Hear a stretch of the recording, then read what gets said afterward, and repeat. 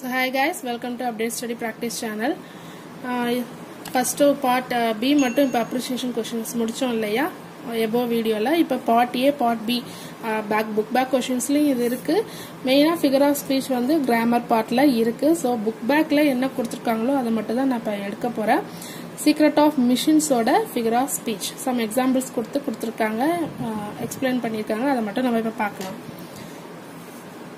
First வந்து நம்ம rhyming scheme பார்த்தோம். அதனால் அதுக்கு ஃபஸ்ட் கொடுத்துட்டு இதுக்கெல்லாம் செகண்ட் டு எயிட் வரைக்கும் கொடுத்துருக்கேன். ஃபஸ்ட்டு இமேஜினரி இமேஜினரின்னா என்னன்னா கற்பனை. கற்பனை விதமாக ஒரு வாக்கியம் வந்ததுன்னா அது வந்து இமேஜினரி அப்படின்னு சூஸ் பண்ணணும். எக்ஸாம்பிள் பாருங்க. The descriptions create a picture in the readers mind அப்போ ரீடர்ஸ் மைண்டுனாலே அதெல்லாம் நமக்கு வந்து ஒரு ஹார்ட் காப்பியாக கிடைக்குதா? இல்லை கண்ணுக்கே தெரியாமல் மூளையில் எங்கேயோ நம்ம நினச்சிட்டு இருக்கிறது. ஸோ அப்போ இது வந்து ஒரு சாஃப்ட் காப்பின்னு மாரி ஞாபகம் ஒரு அப்போ ரீடர்ஸ் மைண்டுக்குள்ளே என்ன இருக்கோ we can see here count and read and write நம்ம மூளையில் என்ன இருக்கோ அதை மிஷின் வந்து ரீட் பண்ணுமா ரைட் பண்ணுமா பிரிண்ட் பண்ணுமா கவுண்ட் பண்ணுமா ஹியர் பண்ணுமா சி பண்ணுமா? அப்போ இதெல்லாம் எப்படி நடக்குது? இமேஜினரியாக தான் நடக்குது. கற்பனையில் தான் நடக்குது. ரீடர்ஸ் மைண்டில் உள்ளது எல்லாமே கற்பனையாக நடக்குது. எது நடக்குது? மிஷின் சொல்லுது. இதுமாரி ரீடர்ஸ் மைண்டில் உள்ளதெல்லாம் நாங்கள் இமேஜினா அவங்க மூளையில் உள்ள இமேஜின் என்ன பண்ணாலோ இமேஜின் பண்ணாலோ நாங்கள் அதை வந்து வெளிக்கொண்டு வருவோம் அப்படின்னு சொல்லுது. அப்போ இது என்ன? இமேஜினரி இமேஜினரி ஃபிகர் ஆஃப் ஸ்பீச்சில் இமேஜினரி ஸோ இதுதான் இதுக்கு எக்ஸாம்பிள் ஸோ ஏதாவது ஒரு கற்பனை விதமாக நம்ம ஒரு வாக்கியம் கொடுத்தாலே அதுக்கு கீழே வந்து பர்சனிஃபிகேஷன் இமேஜினரி சிமிலி அப்படின்னு கொடுத்துருந்தாலே நீங்கள் இமேஜினரியை டிக் பண்ணணும் ஸோ இதுதான் இதோட விளக்கம். பார்த்துக்கோங்க. And then third one personification personification is a figure of speech in which a thing an idea or an animal is given human attributes அதாவது என்ன சொல்கிறாங்கன்னா ஒரு பொருள் ஏதோ ஒரு ஆப்ஜெக்ட் ஒரு பொருள் ஏதாவது ஒரு திங் இருந்தாலோ இல்லை ஏதாவது ஒரு ஐடியாவோ இல்லை ஏதோ ஒரு அனிமல் இருந்தாலோ அனிமல்ஸ் என்ன அனிமல்ஸ் சொன்னாலும் இருக்கலாம். அதோடைய பண்பு கூறுகளை கம்பேர் பண்ணுறது அப்படின்ற மாரி தான் அர்த்தம். இப்போ பாருங்கள் மிஷின்ஸ் வந்து என்ன சொல்லுது மிஷின்ஸ் என்ன சொல்லுதுன்னு பாருங்கள் நம்ம சீக்ரெட் ஆஃப் தி மிஷின்ஸ் போயத்துலேருந்து தானே இதை பார்க்குறோம். ஸோ அதில் உள்ள எக்ஸாம்பிள் தான் இது.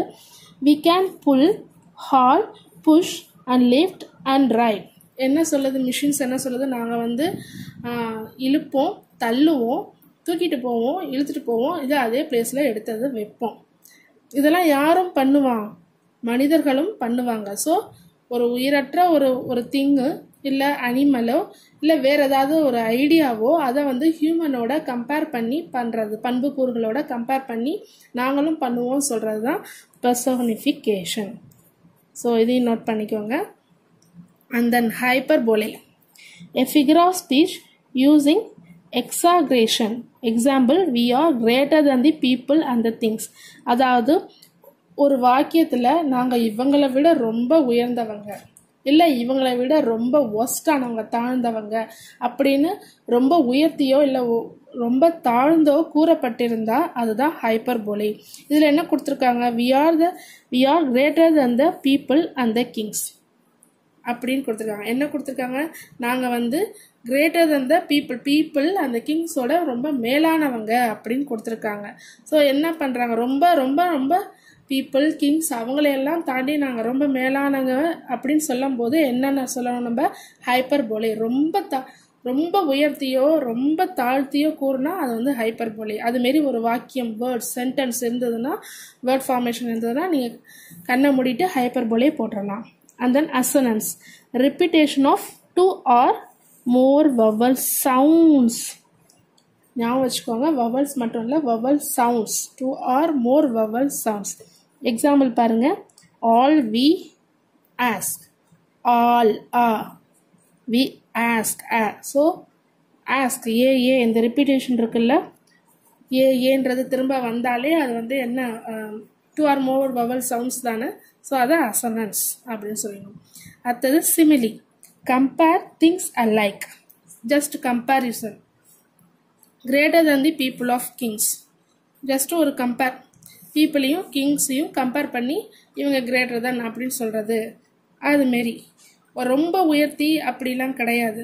இது இவங்களை விட இவங்களை விட இவங்களை விடன்னு இங்கே பார்த்தோம் பார்த்தீங்களா? We are greater than the people அந்த கிங்ஸ்ன்னு பார்த்தோம். அதுமாரி இல்லாமல் ஜஸ்ட் ஒரு கம்பேரிசன் இப்போ வந்து நீங்கள் பாட்டு பாடுறது வந்து ஒரு பாட்டு பாடுறவங்க ரியல் ரியலாக பாட்டு பாடுறாங்க பார்த்தீங்களா பின்னணி பாடகர்கள். அவங்களோட கம்பேர் பண்ணி பா பேசுகிறது கூட நீங்கள் என்னன்னு சொல்லலாம்.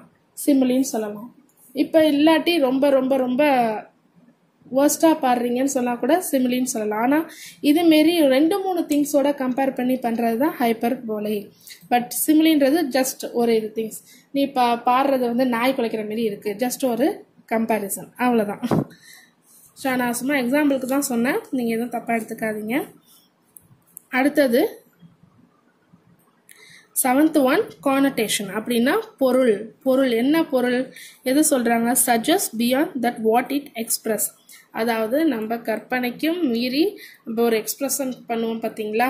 அதுதான் சொல்கிறாங்க இங்கே என்ன எக்ஸாம்பிள் கொடுத்துருக்காங்க பாருங்கள் though our smoke made high may hide the heavens from your eyes என்ன ஏதோ ஒரு ஸ்மோக் நம்மளோட ஸ்மோக் அது வந்து சிகரெட்டாக இருக்கட்டும் இல்லை வீட்டில் வர புகையாக கூட இருக்கட்டும் நம்மளோட ஸ்மோக் என்ன பண்ணும்?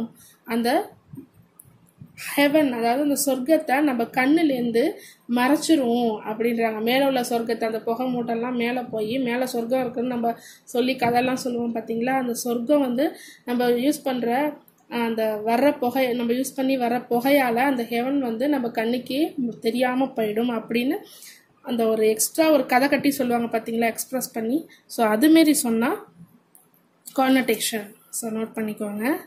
அடுத்தது eighth one alliteration repetition of two or more constant sound அதாவது ஒரு கான்ஸ்டன்ட் சவுண்டே திரும்ப திரும்ப திரும்ப வந்துட்டு இருந்தது அப்படின்னா அது வந்து அலிட்ரேஷன் பாருங்கள் example we can print and plough and weave and heat and light என்றைக்குமே ஃபஸ்ட்டில் உள்ள லெட்டரை மட்டும்தான் நீங்கள் கம்பேர் பண்ணணும். பேக்கில் உள்ளது கிடையாது. இதில் இதில் பொறுத்த வரைக்கும் வேறு ஏதாவது எக்ஸாம்பிள் வந்திருந்ததுன்னா பார்க்கலாம் பின்னாடி. We we print P P so இது கான்சனன்ட் தானே? A E I O A e, தவிர மித்த எல்லாமே என்ன சொல்லுவோம் கான்சோனன்ட் ஸோ டபிள்யூ டபிள்யூ ரிப்பீட்டடாக வருது பிபி ரிப்பீட்டடாக வருது. ஸோ இதுதான் அலிட்ரேஷன் இதுதான் புக் பேக்கில் கொடுத்த ஒரு seven figure of speech so இதை நோட் பண்ணிக்கோங்க. இன்னும் வர வர போயமில் உள்ள ஃபிகர் ஆஃப் ஸ்பீச்சையும் நம்ம பார்த்தோன்னா நமக்கு ஒரு தெளிவு கிடச்சிரும். இந்த வீடியோ உங்களுக்கு புரிஞ்சிருந்ததுன்னா சப்ஸ்கிரைப் பண்ணி மறக்காமல் பெல் ஐக்கானையும் தட்டிடுங்க. அப்போ தான் நான் போகிற நோட்டிஃபிகேஷன் வரும். வேறு ஏதாவது டவுட் இருந்தால் கமெண்ட் பண்ணுங்கள் லைக் பண்ணுங்கள் நாளைக்கு பேலன்ஸ் இதில் இதோட இந்த சீக்ரெட் ஆஃப் மிஷின்ஸில் உள்ள book appreciation questions figure of speech OEM explanation meanings எல்லாமே முடிஞ்சது. Next the ant and the cricket அது இருக்குது அதில் உள்ளது புக் அப்ரிஷியேஷன் கொஷின்ஸ் மட்டும் தான் நம்ம உள்ளே பார்க்கணும். அப்ரிஷியேஷன் கொஷின்ஸ் ரைமிங் ஸ்கீம் அதில் ஏதாவது ஸ்பீக்கர் ஆஃப் ஸ்பீச் இருந்தால் அதையும் நம்ம நெக்ஸ்ட் கிளாஸில் பார்க்கலாம். So all the best happy day thank you